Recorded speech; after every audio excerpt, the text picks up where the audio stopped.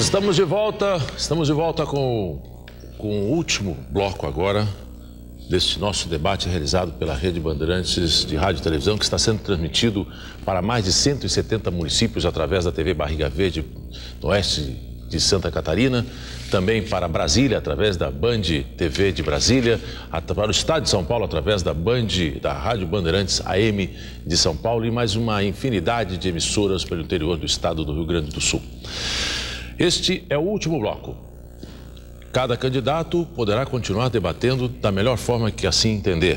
Começamos este bloco com o candidato Olívio Dutra.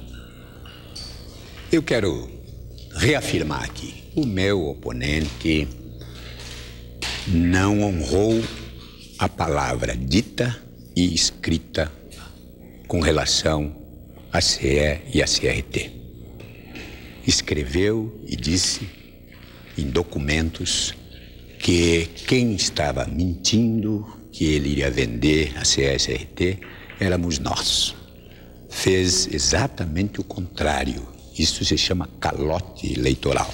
Será que quer voltar de novo com isto, não clareando bem a questão do Banrisul, da Corsan e de outras coisas que pretende privatizar, além da privatização da escola pública que está encaminhando por trás da cortina da municipalização?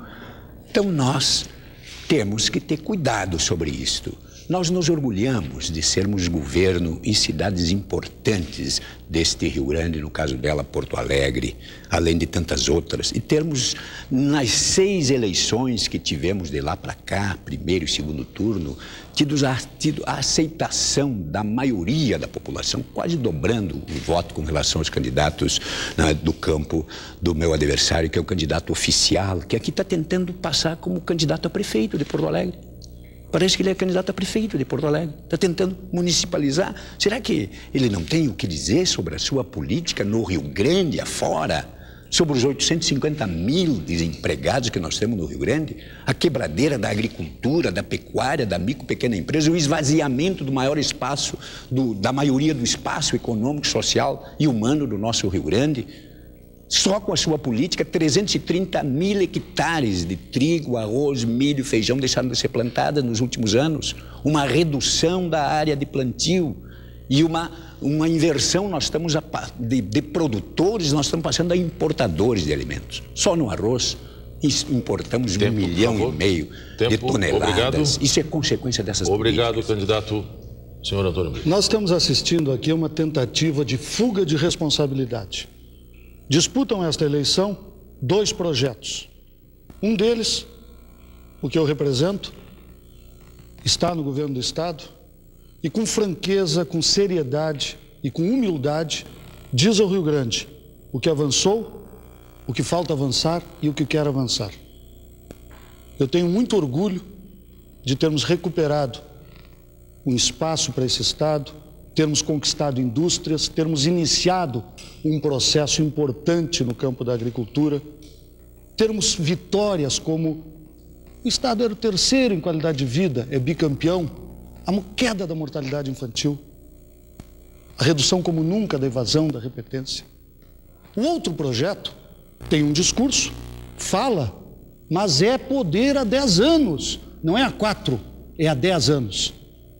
E fez calote de palavra já lá no início, quando o senhor Olívio Dutra, para usar a expressão dele, foi caloteiro com Porto Alegre, prometendo encampar, encampando e depois acertando com os empresários de ônibus e retirando a encampação.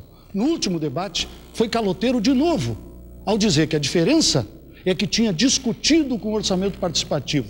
Eu não me lembrava disso, pedi para darem uma olhada. O orçamento participativo teve a sua primeira reunião em setembro de 89.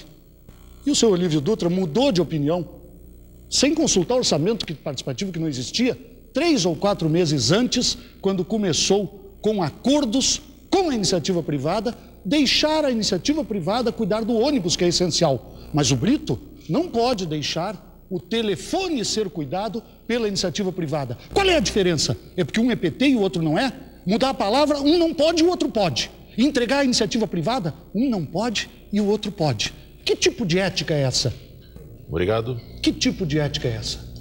Senhor o senhor não honrou a sua palavra dita e escrita E com essa mudança. E o senhor não honrou a sua palavra falada. Com essa mudança, o senhor dilapidou o patrimônio público. E o senhor de Porto Alegre. a CESRT. Eu não vendi um parafuso do patrimônio público. Não, deixou uma conta a, pendurada que Deus sabe quem vai pagar. A companhia Cariz passou a ser laranja de amostra e, através dela, nós qualificamos a relação com os permissionários prestadores desse serviço. O povo de Porto Alegre sabe tanto que tem votado na nossa proposta cada vez com maior número de votos. E nós estamos constantemente aperfeiçoando a relação com a nossa comunidade.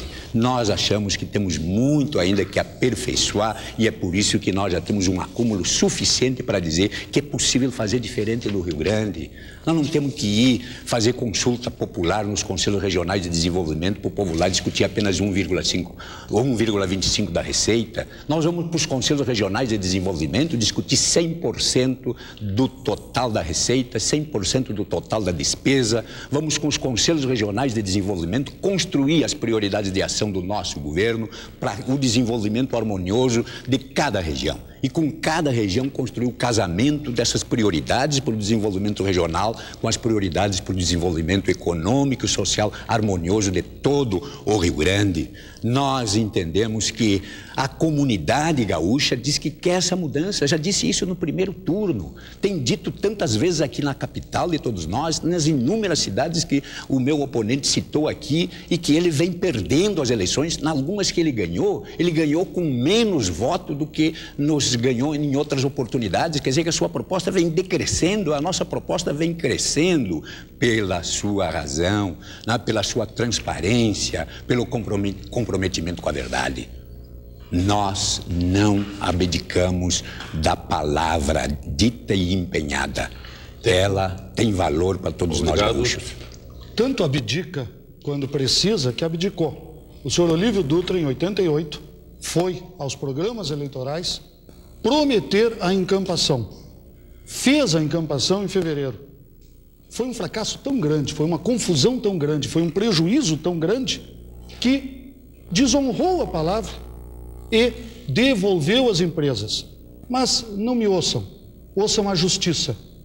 A Prefeitura de Porto Alegre está perdendo estas ações e o desembargador José Velinho de Lacerda, na decisão condenando a Prefeitura de Porto Alegre, diz: o ato intervencionista deu no que deu, prejuízo para todos e piora da qualidade de serviços de transporte coletivo.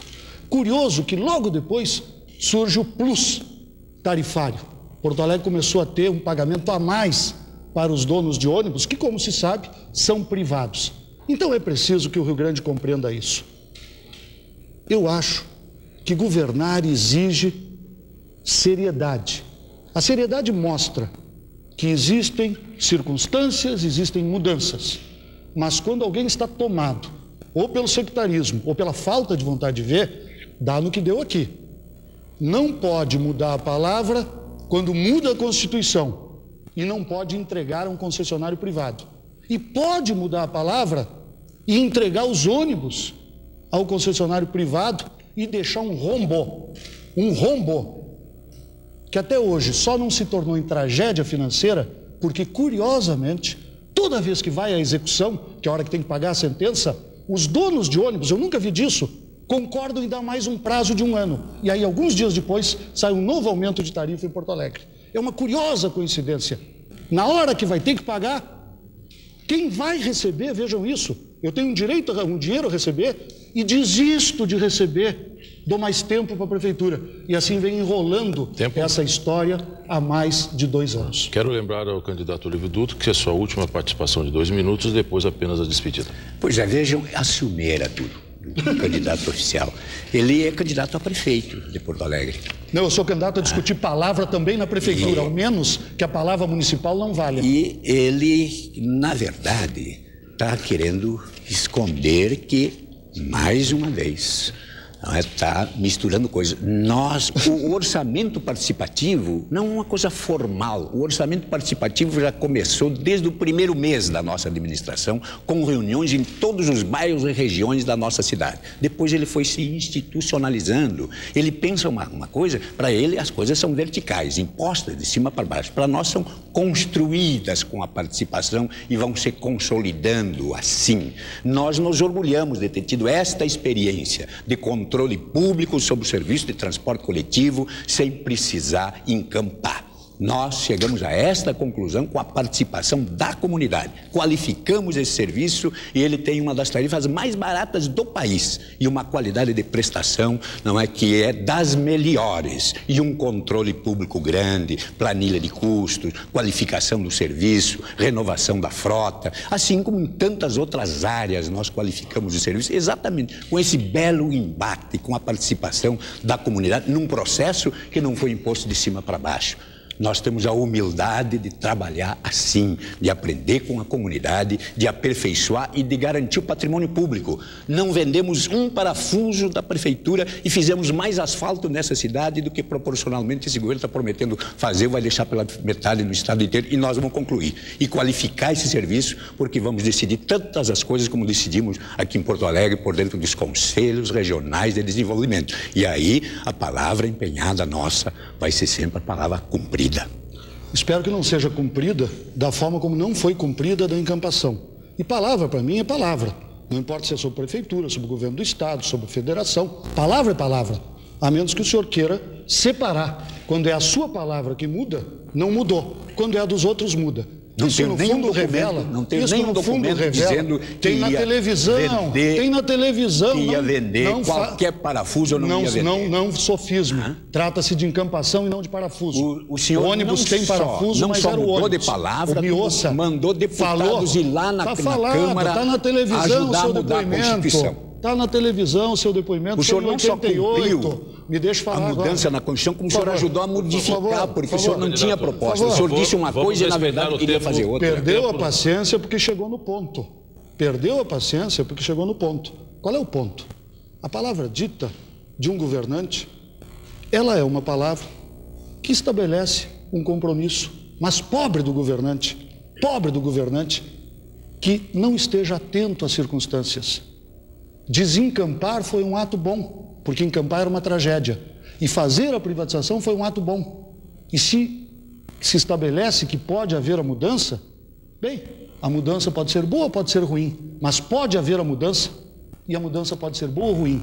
No caso dos telefones, foi boa, está sendo boa, abre mais empregos, diminui o preço do telefone, facilita. E se pode passar a vida de alguém para andar de ônibus à iniciativa privada, por que, que não pode passar um aparelho de telefone? E se pode fiscalizar o ônibus, por que, que não pode fiscalizar o telefone? É essa visão não sectária que nós precisamos no Rio Grande e no Brasil. Reconhecer como as coisas são e não como está num manual que toda vez que é atingido sai a buscar uma explicação curiosa. Não pode discutir assunto municipal. Ué, mas a palavra municipal não é palavra? Claro que é, há mudanças e há circunstâncias. Tempo. E isto faz parte da vida da, do governante e dos governos. Muito obrigado.